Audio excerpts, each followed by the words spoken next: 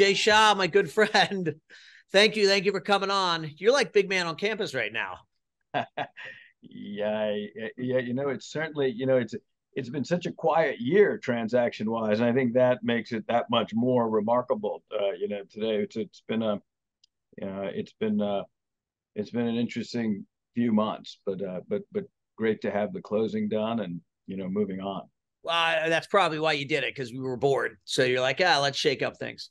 So uh, thank you for joining me today. Uh, we're going to talk about a lot. We're going to get into a lot. We're going to learn Jay. We're going to learn about Hersha. I want to talk about the deal.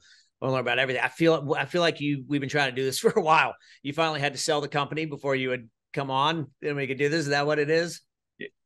Make for a better conversation. Yeah, you, that, this way you can be wide open. That's Tell right. stuff you shouldn't have told.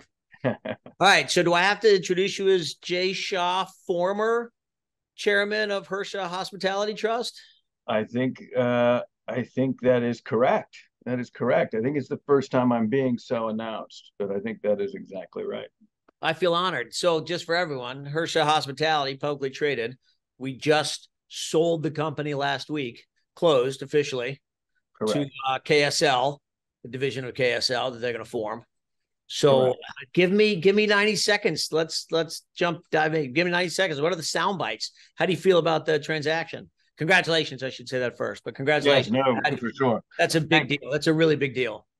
Yeah, no, thank you. It was, uh, you know, it, it was a big deal, and um, it was, you know, we feel very, we feel very good about the deal on a on a variety of fronts. You know, as a public company, the first things first, we wanted to make sure that we were being thoughtful about capital, our shareholders' capital, and you know, in a time like this where there's so much uncertainty in the marketplace, to be able to deliver a 60% premium to shareholders um, felt like a really great execution. And so that was important to us. And, and, and we, you know, that was one of the primary drivers in, in most of the negotiations. You know, feel really good that a lot of the team, most of the team, all of the team is moving over. Uh, you know, you know, despite me transitioning uh, away from day-to-day responsibilities in a proactive role, uh, you know, the, the the team is going to be continuing to work with the portfolio with KSL. Um, and uh, and we're very excited for the future. KSL has uh, obviously a fantastic reputation in the hospitality industry and and no shortage of know-how across a lot of different uh, a lot of different types of hospitality investments.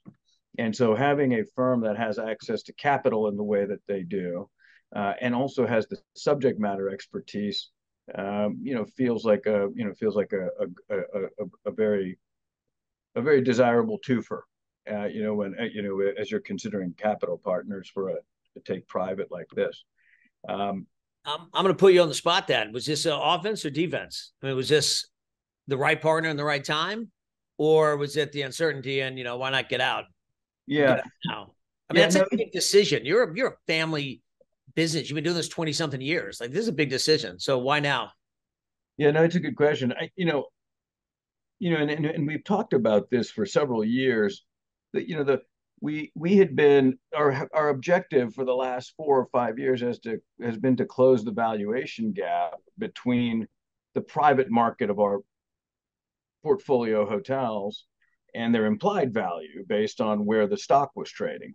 And you know, for a variety of reasons, and you know, the in the sector has has has sort of felt those headwinds. It's across right. the you know the publicly traded hotel REIT sector, and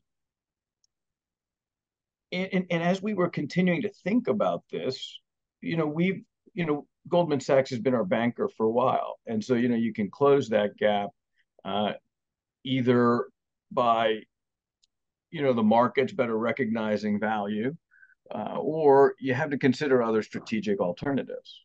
And and so as you know as, as most responsible boards would do this is something that we as a company as a publicly traded company would visit on a very regular basis to make sure that the strategy uh, generally was consistent with where the market was, what the outlook for the company was, uh, and and other macroeconomic factors. But you know, all that being said, there just wasn't any activity for right. for several years, right? Like we, right. you know, we were talking. And then, you know, it would happen in the spring of this year. It was very interesting. It was around the time of um, not the spring, but maybe the summer. In the spring, we started getting some interesting inbound inquiries on the company. And, you know, then in the summer, we felt like there was this, you know, remobilization of investors, you know, looking to get in the space. And there, you know, there was that moment in time last last summer when it felt like things were going to get materially better sooner than they actually have. And so, uh, so at that point, you know, ha, you know, Goldman has a you know very good, you know, had a great working knowledge of the company, and so at that point, because it was multiple parties, we thought it made sense to uh, do a more organized process.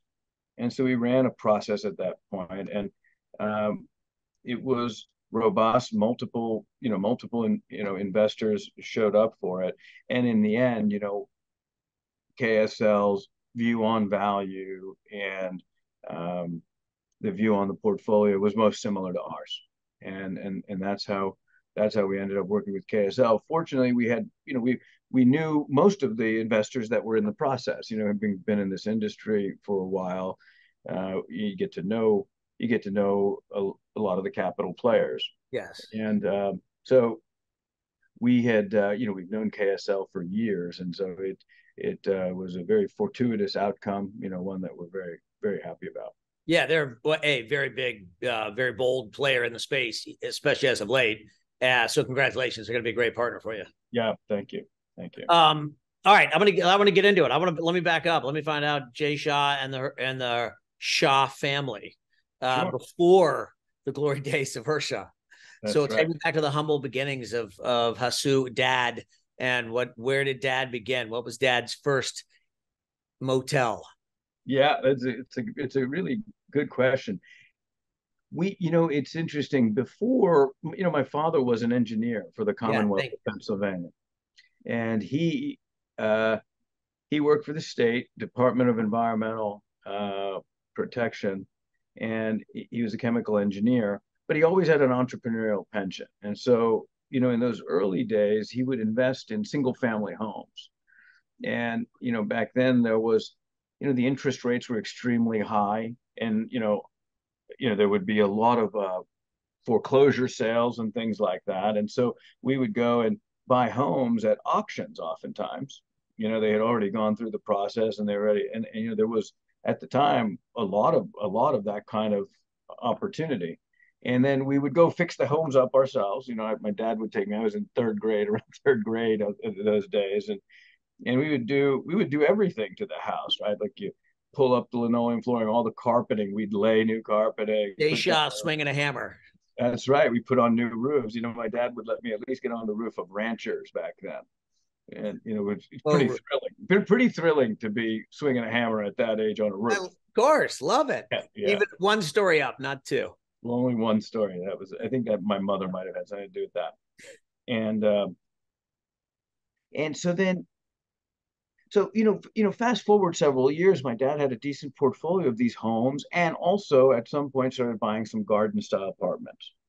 And you know this was these were our family investments. And my dad would be an engineer at the state for most of the day. And in the evenings we'd go make rounds like real estate entrepreneurs do right? And on the weekends we do some work on the house. Sometimes on the week weekdays we would work on some of the you know the homes and things like that.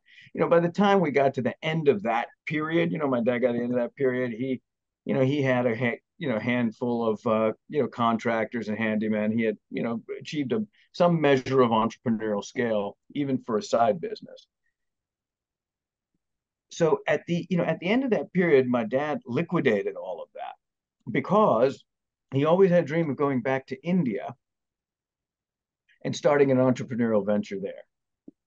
So, but at that point, I think you know the the story goes, and I'll have to I'll have to send you a copy of it. But you know, he he basically had about fifty thousand in savings from the sale of all of these homes, and from you know from the savings from his from his state salary, he had savings from that too.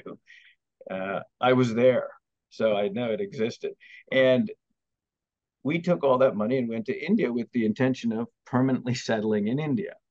So now, you know, again, I'm like at this point, I'm probably about fourth grade, something like that, and and off we go. It was uh, dramatic, big, bold, right? But bold move, and and we went back to India, and we were there for close to eight months. But as soon as we got there, my father's father passed away, which was one of the big motivators for my dad to go back. Um, you know, the entrepreneurial ventures that he wanted to get into, you know, he had realized that he'd gotten used to American capitalism, you know, in the short period that he had been an entrepreneur here, and that he maybe preferred that to the way, you know, to, to that way.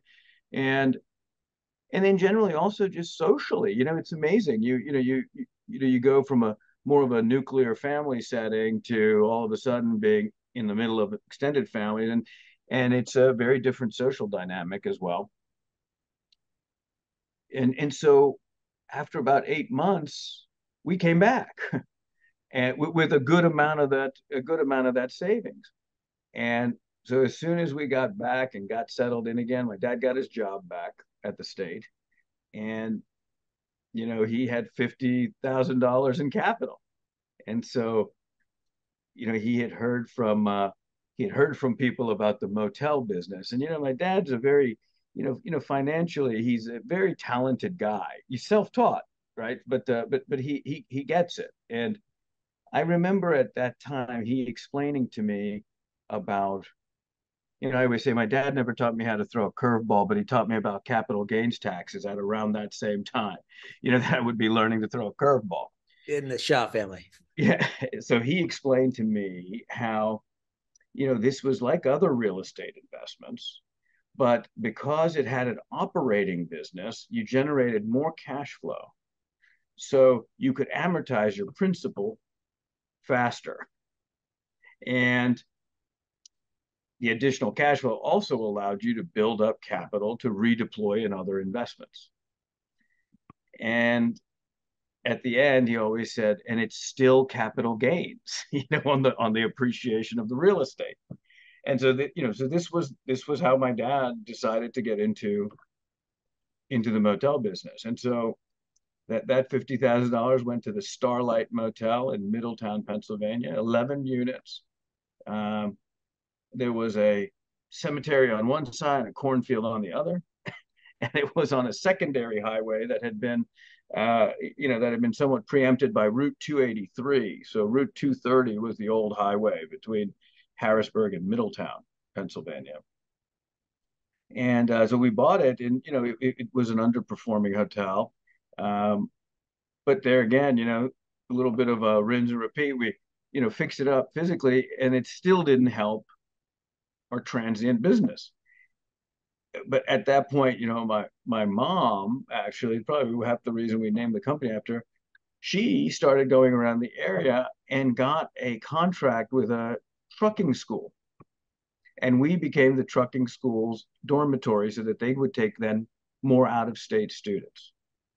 And so, you know, at a, at a at a motel that had an ADR of eleven dollars and maybe we grew it to fourteen by the time we sold it.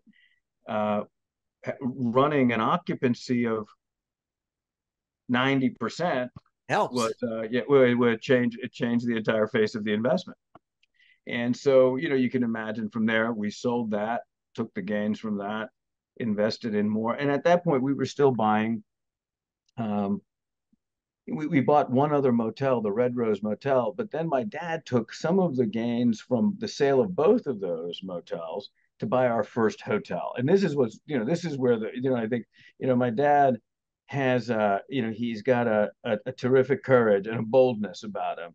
And this was a 125 room full service hotel.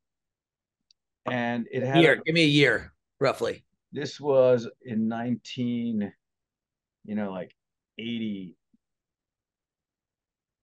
84. Yeah. Okay. Yeah.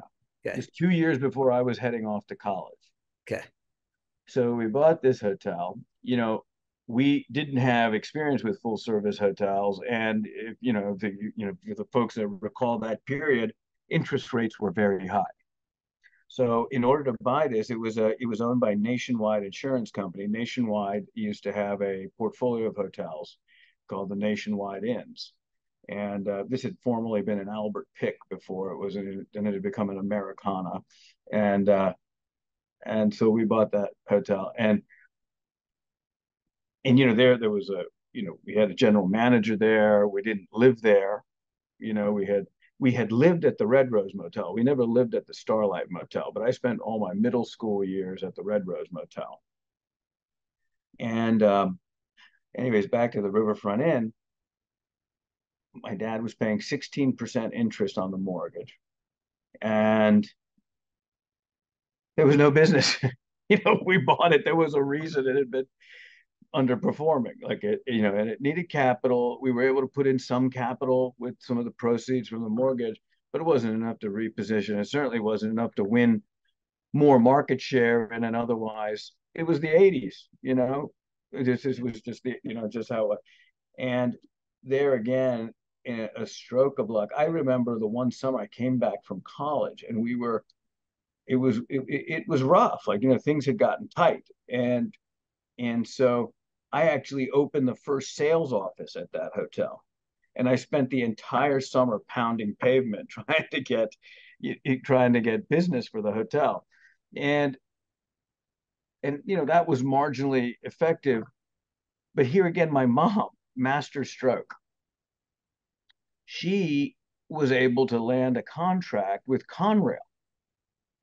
You know the freight, uh, you know the freight. Yeah, yeah, yeah. I mean, they had you know, they had a station about seven miles from this hotel. So it was on the river in Harrisburg. It was kind of a beautiful place in Shipoke Village. And, and we landed that contract. And there again, you know, we went from running 34% occupancy to running 95% occupancy. The mom was the head salesperson. I can see this. Yeah, she, yeah, that's right. She had a sales, sent her out. that's right.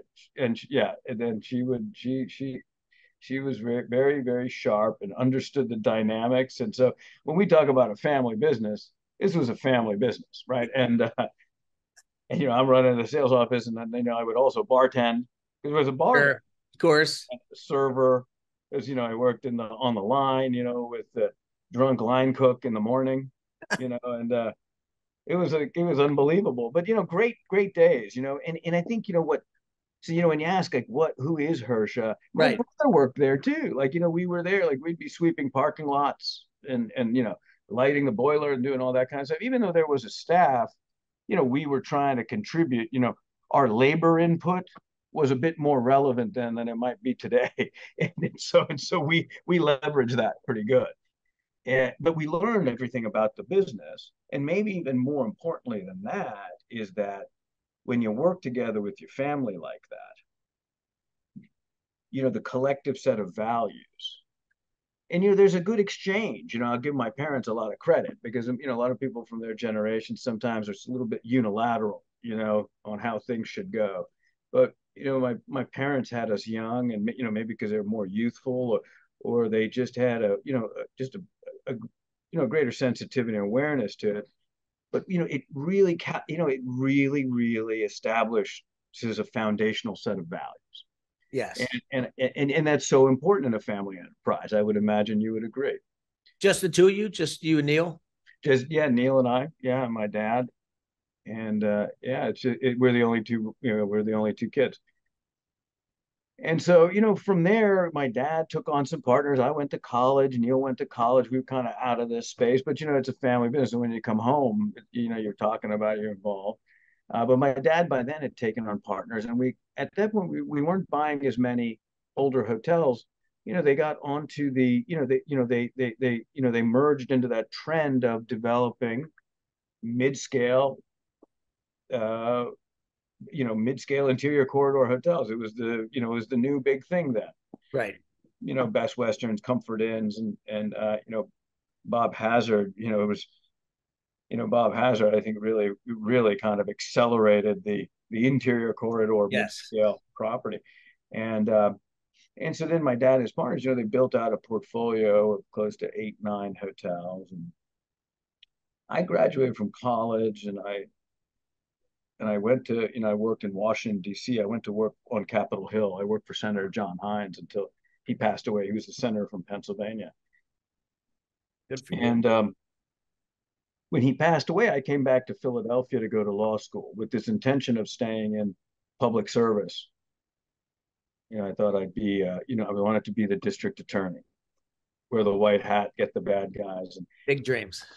Yeah, exactly. You know, and then, then I, I worked at the DA's office for a couple of summers, and and it, it didn't have the romance that I had intended. It felt a little more like a post office, and so, you know, so then I kind of pivoted and got into business law and, and did that, and I and I started my own practice, and uh, and and that was successful. But at the same time, my dad's portfolio, and Neil at this point was in, he was doing undergrad in Philadelphia. I was going to law school in Philadelphia, and, and Dad's business was changing. And at at you know at some point we during this period we bought our first urban hotel, and it had been a Ramada Suites.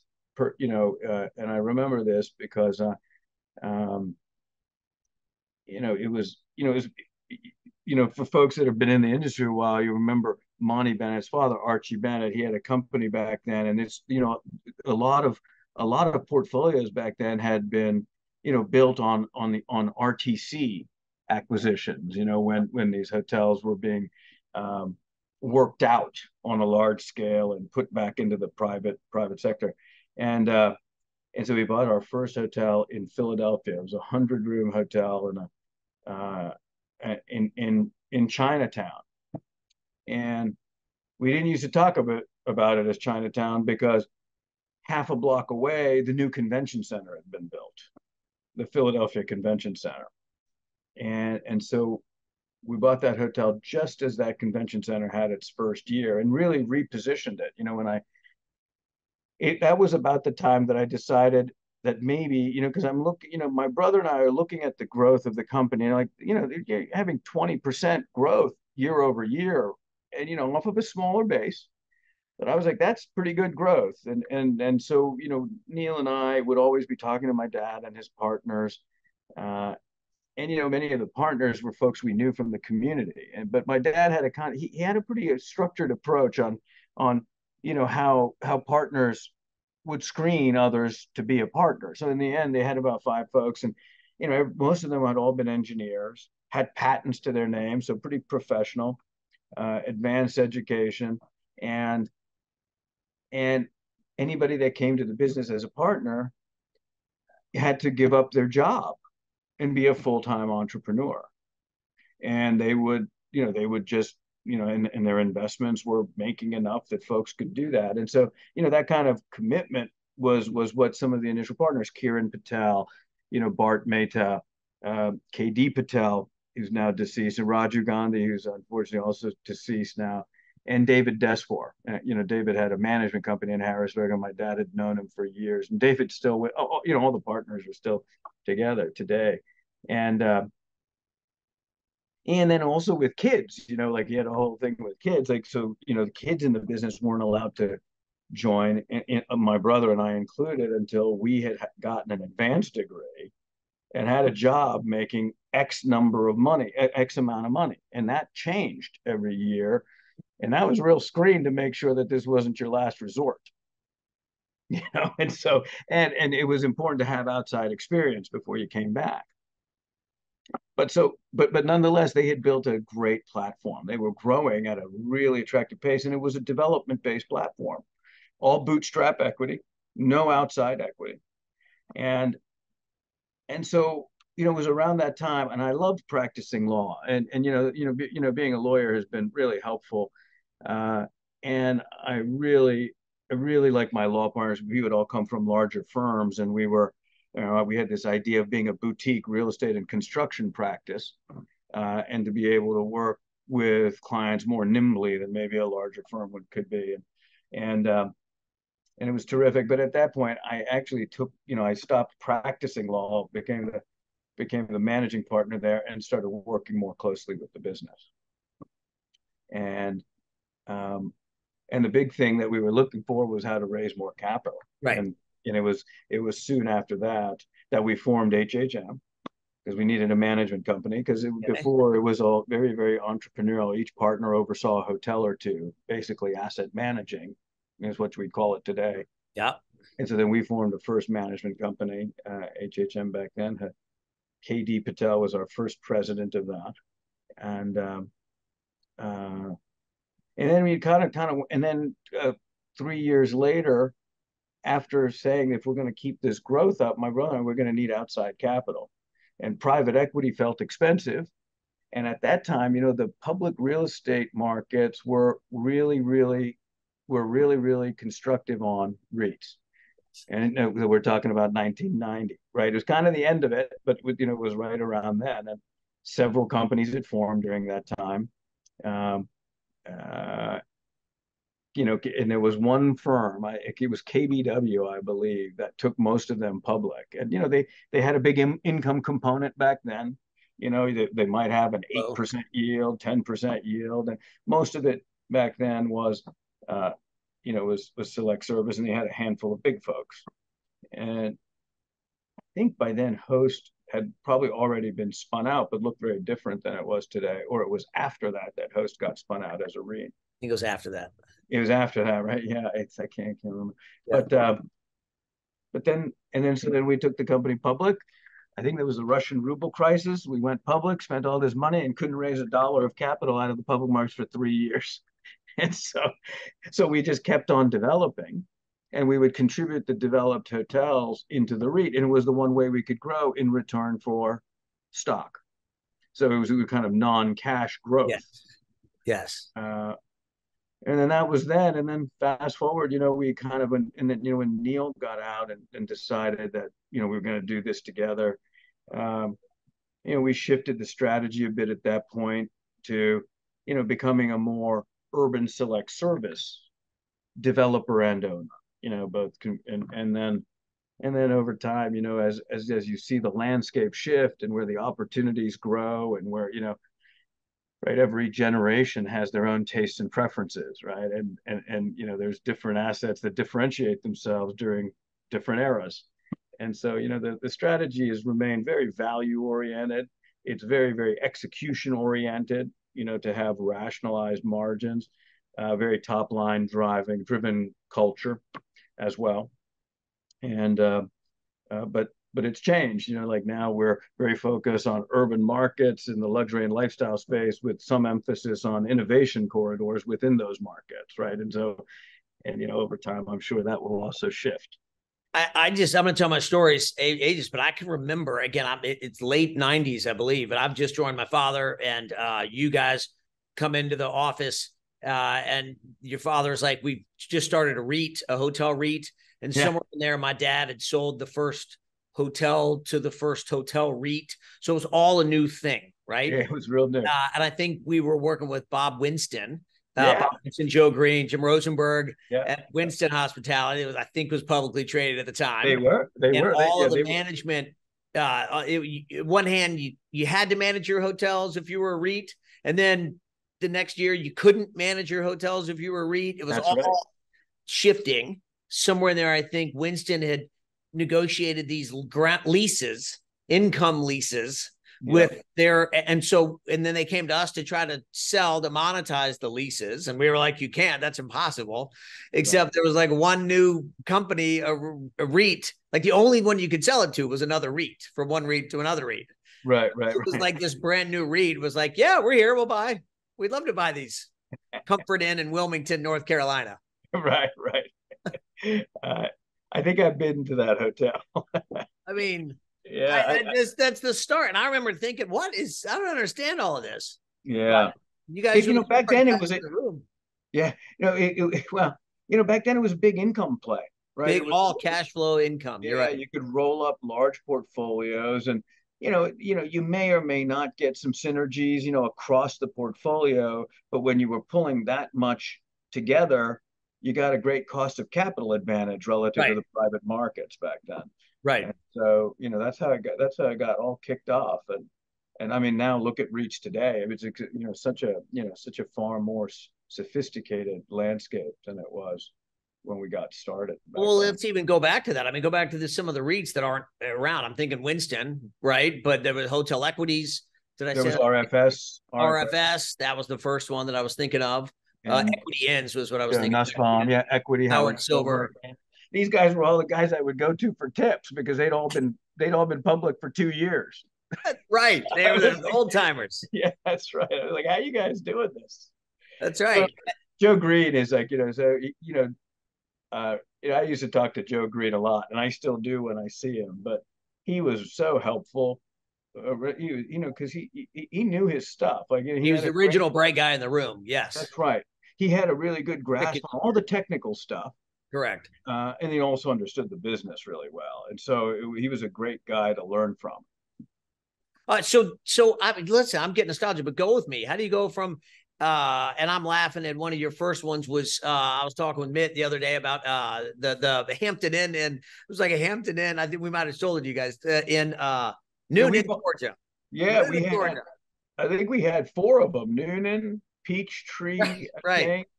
Uh, yeah, and, and yeah, I, I remember back then we were we were getting started, and we you know we needed to get some scale, and you know Atlanta was hot right? That's right. Because Atlanta was hot. We just didn't realize that it was going to spread out as much as it did. So quickly. yeah, so quickly. But you know, those those were those were good hotels. You know, they kind of gave us some scale at the time. Uh, and you know, and I don't even recall when we sold those. But you know what you learn when you go public is very quickly cash flow is good, but growth is better. Yeah. Right. And you know, and very soon enough, you know, these income vehicles you know, in a matter of a handful of years, everyone's like, "Where's the growth?" It's growth. And you're like, "It's an income vehicle," and it was like, "Where's the growth?" so you know, so we, yeah, so then all of a sudden, you know, the you know the entire sector, you know, shifts a little bit, right? And over time, these these these different, you know, the, the you know the different sort of criteria for the capital providers shift, and therefore the, you know, the the the the deployers of capital and the management team shift, right? It's just kind of how it works. So maybe go through some of your thinking along the years. I mean, you know, you go from these Hamptons and Comforts to you know, heck, Ritz Carltons and all New York. You know, you're in secondary and tertiary. Now you're in major metro: New York, Philly, Boston, California, Miami. Like, where did that fundamental shift change? Yeah, you know, just with the industry. Is that just the industry growing up, and you guys grew with them, lifestyle and the like? rather than or no there... i think you know to, you know in my mind it's a little bit it's a little bit market driven and I'll, and I'll tell you what i mean by that and and you know i think we were talking about it earlier but every generation has different tastes and preferences right and you kind of yes. want to you know you kind of want to you want to skate to where the puck is going to be right yes. and and so and i think that's where some of the changes came from for a while we had kind of this barbell strategy as we were kind of dipping our toe into the luxury and lifestyle space. You know the luxury space a little easier to figure out right? This is a you know luxury generally you know recovers a little later in the cycle but they almost always exceed prior peak. Yeah. And yeah. you know they and and you know they'll last far to the end of the cycle right? Whereas you have you know mid-scale or upscale select service, that recovers really early, flattens out a bit, right? And doesn't grow as much. And then, you know, its cycle might end a little sooner than the luxury assets. Then the lifestyle assets, you know, the reason we got into those was, you know, when you, know, we started learning that in certain markets where you have a, a pretty robust level of market demand generally, you know, the cost of customer acquisition with digital marketing, and you know i won't say e-commerce because you know i think something you know relying too much on otas is not necessarily where you know where our heads were at. But when you can develop capabilities in house and you have enough scale to do it uh, for your digital market to drive original demand to independent lifestyle hotels well the economics are are terrific. The guest experience you know the share and the loyalty you drive are strong. Uh, and so you know it's it's you know it's been different. You know I, I think this, this this generation of travelers their tastes and preferences are they want to be anticipated, right? Like we might have used to find that creepy, but I think here it's kind of expected. And if you don't anticipate, you know, the last couple generation of travelers, it's a little bit like, duh, like you know, it's it's so easy. Like, and I kind of would like that. And I think you know the experiential you know the experiential the drive for experiences continues and i think you know i think that's going to be a generational thing with continued tailwinds and you know and and, and then thirdly you know i think it's you know they're also looking for more efficiency minimal friction when it comes to booking and checking in. You know they want to be in contact with people for different reasons than maybe other generations did right? And so not so much automation, but really having you know ha, you know having a, a real good grasp and capability, and to be able to facilitate electronic and digital communication transactions and and and and the and the and the whole lot of it and and so i think with those changing trends you know the opportunities always change you know there's and and and i think as you know, as this industry has continued to grow and grow, as we talked about more and more capital coming into it, you know, the, the larger swaths of the industry, you know, go through periods where they're commoditized. Right. And and you know, when you're trying to drive, you're trying to try, drive out performance and outsized returns at the end of the day, you know, you have to, you know, you have to stay somewhat nimble. Is a publicly traded REIT the right vehicle to own hotels in today? you know, I, you know, I, you know, it can be for certain portfolios. I think for our portfolio, and I think for several others out there, it's it's not the best. You know, I, I don't believe it. You know, it, it's changed, right? It had been a fantastic platform and a great source of capital, great way to generate value for your shareholders, and um, and to really, you know, you know, make great investments in the industry, right? Because you know, some you know some of the largest owners uh, are the public ones, and and so and it's been great.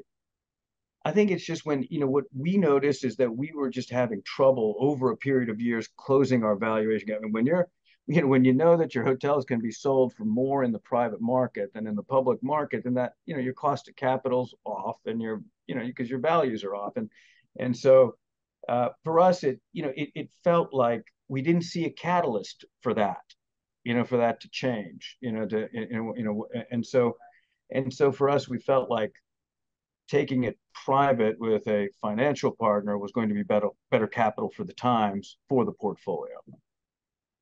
Yeah, it makes sense. All right, yeah. so what's next? What's next for Jay Shah? Maybe I should ask what's next for Neil Shah, though we know that answer. What's next for Dad? We know those answers. Yeah, that's right. You know, I I am. Um, I'm going to spend some time skiing in January. Oh yeah. And some of it is going to be alone, so I'm going to swoosh down some mountains and think about it. I just haven't decided. You, you know, it's it's so interesting, Teague. We you know we've both been working many many years, and you know when you're closing a deal, you really can't think about anything until you're finished. And so I'm still kind of feeling finished here. It's, it's been about a week, but it's uh it's such an interesting time in the industry i think it's an interesting time in the world you know despite you know there's there's a lot of stuff that's going on i know that none of us like and we we, prefer some of these you know some of this to calm down and things to be a lot more peaceful uh, but that being said you know you know there is still this massive backdrop of dynamic technological change. You know, ge- you know, generational technologies are developing under our feet right now. And so, as much as our industry has changed under our feet over the last three decades, you know, I got to imagine that you know the time we got left is going to be pretty exciting too. So, in the even in all families, you, Dad, Neil, three different people, three different personalities. Well, compare and contrast like your management styles. My dad started his business in a purely entrepreneurial way. I learned the business entrepreneurially, but you know, we were able to move it into a more, you know, institutional format. And so we did that, right? So that's what I sort of grew up in and learned. And, you know, and now as Neil takes the helm, and, you know, Neil's been, you know, Neil's been a part of every strategic, you know, initiative we've had here at this company. But he being the the CEO going forward, you know, I think he's going to be working with, you know, uh, you know a, a, very different style of investing and capital deployment and so you know so i think all of our styles are going to reflect to some degree you know the periods when we were when we were most influencing the company That's a great answer. And the platforms. And I'm just envisioning Neil, and so now I'm going to have to have him on.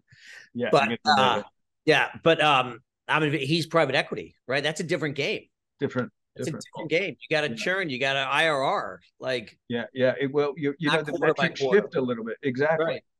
Exactly. You do you you know you deploy your capital early there, let it season, and harvest the returns. Uh, you know, versus being real measured in how you deploy capital so that you're not disrupting the operations of the hotel. It's a very, very different way of, of, of investing. Yeah, uh, yeah. I, I, I'm fascinated to see how it goes. yeah, I, I think it's going to be great. He's going to do a terrific job. He's going to do a terrific job, and he's super talented, and they're lucky to have him. Yes. So that's, I mean, I don't know, but that's part of, if I were KSL, that's part of what I would be buying. Yeah. It, well, well, that's right. And, you know, it's one of the reasons, you know, you want, you want the CEO to do the deal because, you know, you, you know, you get to you, the, the folks on the deal, you know, I was taking a bit more of a back seat, but those, they get to know each other real well. And that serves you well in the early years of the, you know, of the enterprise. Uh, I agree with that. And maybe, uh, you know, I don't know what the next generation Shah looks like family looks like. But uh, you know, you get some bright young next generation people. Your father had you guys. You guys have the next one to help lead some of those decisions. Yeah, yeah, it'll be interesting. My son is, uh, you know, peripherally involved in the industry. He works. He's at PwC in New York, and uh, you know, works with the team up there. Uh, but yeah, we'll see. We'll see. It's going to come run the Shah Family Trust. we're, you know, we'll we'll we'll see you know, it, but, but I will say this, you know, I think for my brother and I, it has been, you know, it's been a very, very rewarding journey, you know, to have, you know, when your parents come to this country and they're 22 and 19 years old and they don't know what's going to become of them, you know, it's, it's a real great joy to be a part of their journey and to help build out their legacy. I think it, you know, it makes for a, a beautiful American story. And uh, and it's a great Shah story, Shah family story. So you know whether the kids come into the business or not uh, you know they'll you know hopefully they'll they'll have the values and take them do do whatever it is they might do if they're not here with us I, and I think that's I want to echo that point. I mean, because I really think that's part of why I want to have you have you on. I just think the story is so incredible, right? Mm-hmm. Okay, mm-hmm. immigrant and engineer, and then your first motel. We've heard all those, but mm-hmm. publicly traded vehicle, and then a full exit, I mean, I'm, I, I, they're not a lot. That's one of the better stories in, in certainly in the hospitality industry, but probably in all industries. Yeah, no, no, we that tip to you guys and the family. Yeah, no, I appreciate that. And you know, you, you know, we, we, you know, and and and you know, the we know that nothing great happens without you know without being in group. And like we've been very, very fortunate to just have terrific partners in the early years, you know, that shared the conviction, shared the values, you know, drove things forward. And since then, you know, over the years, the the people that have helped build both HHM and HT, you know, unfortunately, many are still with us. There's many all throughout the industry today, and it's just it's a it's just a terrific, uh, you know, it's a terrific journey. And being a part of an industry like the hospitality industry, I think, makes it doubly so. Yeah, uh, listen, preaching to the choir, but that that's why we're doing this. That's why we all do this. We we all we very so many examples of why we're such a good industry and why such good people in the industry. The people make it. We have really good people. I hope we can pass that on to the next to the next leaderships of our industry. I hope so too. That's a very good. That's a that's a that's a worthwhile objective for all of us to have. Listen, Jay, thank you. This is fantastic. Um, thank you for coming on. Thank you for joining me. Thank you for sharing the story. Absolutely. and I, um, I'll see you on the slopes.